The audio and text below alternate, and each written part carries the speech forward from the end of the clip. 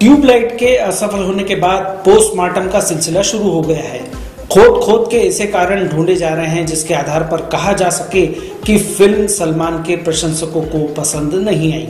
एक कारण मिला है कि जब जब सलमान और उनके भाई सोहेल ने साथ में फ़िल्म की है, उसमें से अधिकांश फ़िल्मों को असफलता का मुँह देखना पड़ा। औज़ार, सलाम इश्क, गॉड तुसी ग्रेट हो, हेलो, हीरोज, मैं और मिसेस खन्ना, वीर सभी असफल रही। अब इसमें ट्यूबलाइट का नाम भी जोड़ लीजिए। इन सभी फ़िल्मों में सलमान और सोहेल साथ थे। सिर्फ़ मैंने प्यार क्यों किया ही सफल रही थी? सलमान अब भविष्य में सोहेल के साथ फ़िल्म करना शायद ही पसंद करें।